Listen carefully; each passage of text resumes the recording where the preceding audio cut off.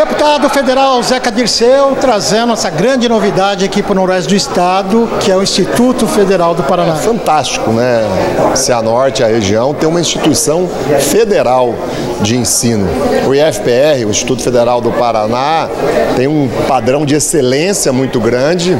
Podem olhar qualquer tipo de ranking, de avaliação, é sempre um dos melhores colocados. Os alunos do IFPR também, quando tem provas, quando tem avaliações, são os que têm as melhores notas. Isso vai, esse campus aqui em Cianorte, não só trazer um investimento de 20, 30 milhões de reais para fazer a estrutura física ao longo dos próximos anos, mas eu entendo que vai elevar a Cianorte ainda mais como um polo regional de educação, de emprego, de renda, de tecnologia, de inovação. O Instituto Federal é muito amplo. Ele tem ensino médio, ele tem ensino técnico de curta, média e longa duração. Depois de um certo tempo ele passa a ter até ensino superior, pós-graduação, especialização. Olha o exemplo de Moarama, que já é bem mais antigo, né? Moarama já tem até mestrado. E é tudo gratuito, certificado por uma instituição federal de ensino. Então isso, para quem está assistindo e quer que o filho e a filha seja bem sucedido na vida, às vezes a pessoa não tem dinheiro né, para pagar uma universidade, para pagar uma faculdade, para pagar um curso técnico, para a pessoa ter uma profissão, agora com esse campus do Instituto Federal, esse sonho é realidade.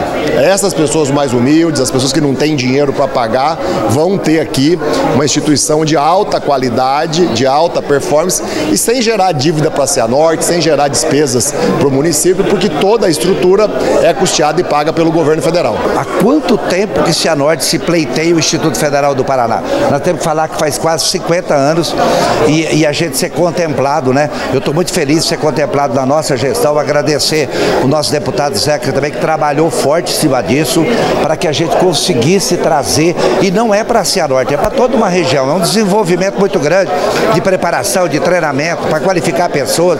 Então nós estamos muito felizes, mas é um, é, uma, é, uma, é um marco, é um diferencial de educação cada vez mais aqui em Cianorte também. É uma grande conquista aqui para Cianorte, era um desejo da comunidade, já tínhamos conversado recentemente com a secretária municipal de educação, a professora Jaqueline, e é um trabalho conjunto, né, que vem desde já alguns anos, junto à reitoria do FPR, que culmina agora, né, com a nossa nosso mandato. É, e no Paraná, das cinco cidades, Cianorte foi contemplada e esperamos desenvolver um trabalho muito qualificado, porque é isso que nós fazemos, principalmente na oferta de cursos técnicos para os adolescentes, para a juventude, levando então uma formação profissional de qualidade que vai atender às necessidades aí dos arranjos produtivos da sociedade aqui de Cianorte. O Brasil vive um novo momento e nada mais do que a educação para transformar.